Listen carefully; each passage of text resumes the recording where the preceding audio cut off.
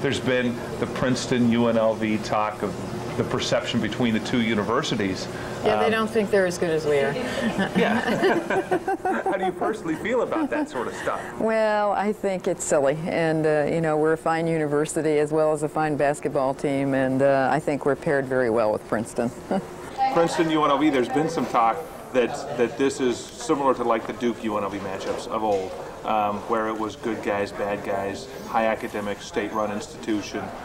What's your what's your take on that sort of exchange that um, created?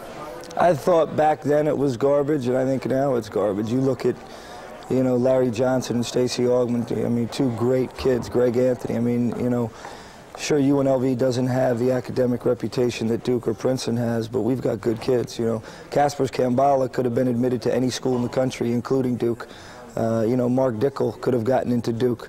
Uh, you know, we've got players, uh, Kevin Simmons and Tyrone Nesby, that, uh, you know, are good kids, you know, that, uh, sure, maybe they weren't uh, academically up to par with, with a, a Duke or a Stanford, uh, but they've done what they're supposed to do. We've got a great team GPA.